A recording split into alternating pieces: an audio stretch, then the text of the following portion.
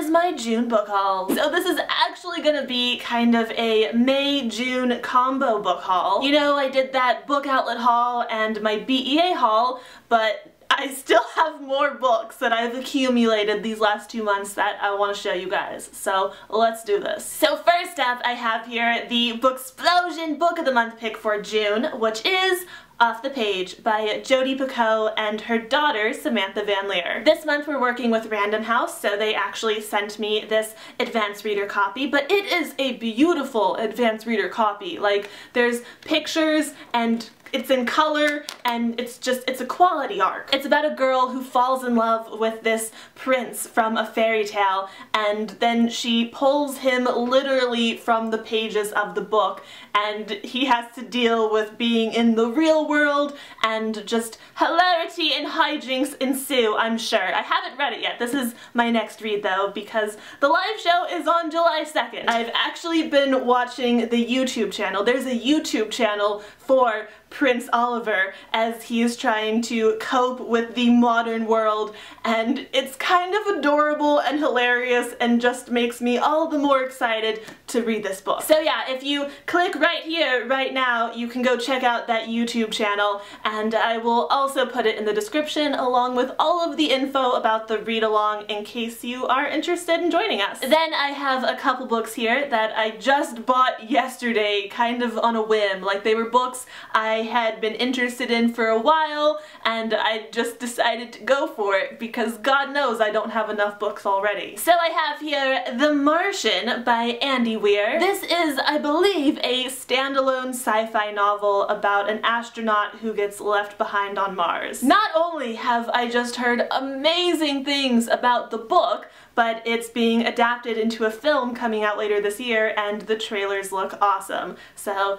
I want to read this first, hence the purchasing of it. I also picked up The Game of Love and Death by Martha Brockenbrough, which I talked about in a releases video. I think it came out at the end of April, I believe. It's a recent release. It's about these personified versions of love and death who are placing bets on this kind of doomed couple on whether their relationship will result in love or death.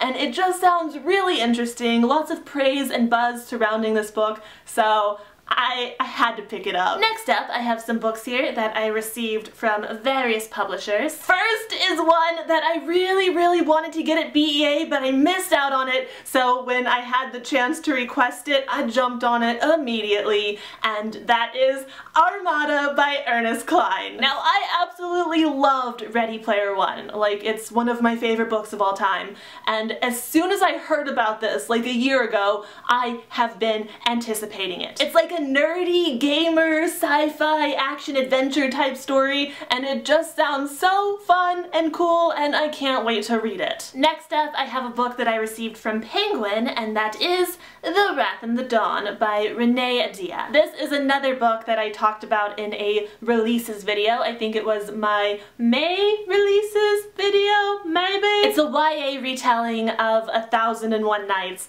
and it just sounds really cool. I also got to briefly meet Renee at a signing in New York when I was there for BEA and she was so lovely and sweet it made me that much more excited to read her book. Also we got those deckle edges happening.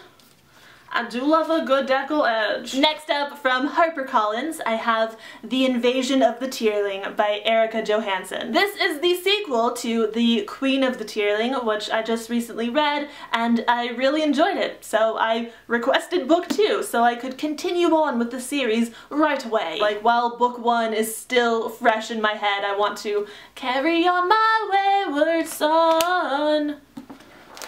Be peace Except there won't be because shit's about to go down. Then I have here End of Days by Susan E., which is the third and final book in the Penryn and the End of Days trilogy. If you aren't familiar with this trilogy, it's like a post-apocalyptic, gritty, angels are kind of the bad guys type of series, and it's awesome. I'm always a little bit apprehensive about series finales because a lot of the time they're missing that oomph that I just really want from them, but I've been hearing great things about this one so far, so I'm quite keen to get into it and see how the story all wraps up. Then, from Quirk Books, I have here The League of Regrettable Superheroes by Jon Morris. I had to look because I wasn't sure. There was this period of time where superheroes were really trendy and people were just trying to come up with any kind of superhero they could think of,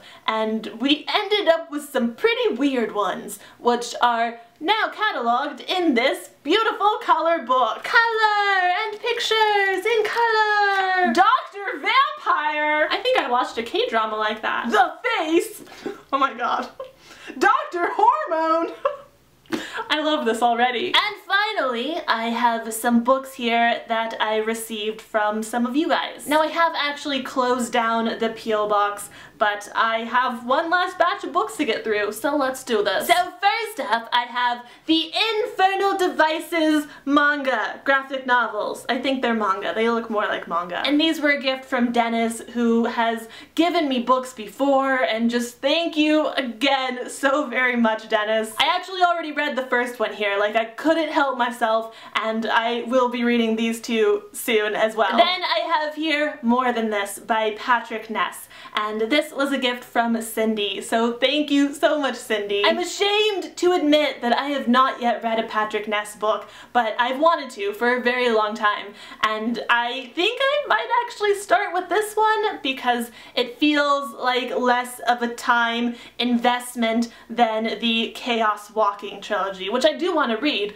but I think I'm gonna get to this one first. Next up from Danny, I have three graphic novels. The Wicked and the Divine, Bandette, and Displacement. I actually had not yet heard of any of these, but I'm really excited to get to them. And Danny, it was also great to meet you at BookCon. I'm glad we got a minute to chat about our shared love for graphic novels and just thank you again for sending me these graphic novels and the ones you've sent me before. I'm really enjoying my exploration into the graphic novel medium and Danny, I am just loving your taste in graphic novels, so thank you so much once again. Then I have here the the Alloy of Law by Brandon Sanderson, and this was a gift from Terry. So thank you so much, Terry. I do really appreciate you sending this to me, even though I actually already have a copy of this book. I just, I have to read this book soon, okay? Now I have two copies sitting around.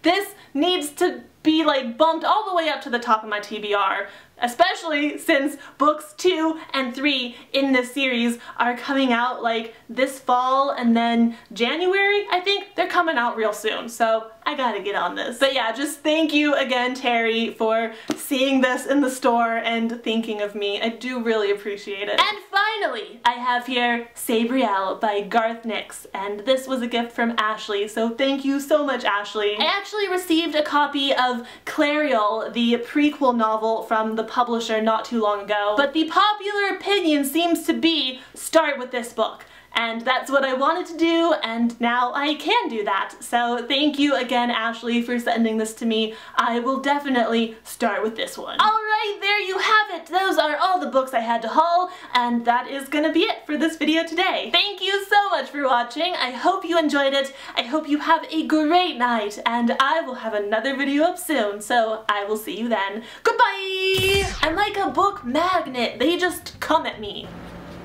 Ah, And next up, I have a book that I received from Pip Pip Pip. This girl is on fire! Remember how my hair was kind of curled at the beginning of this video? I sweated my curls away. Disgusting. Goodbye! Oh, Jesus Christ, I almost knocked you the fuck over.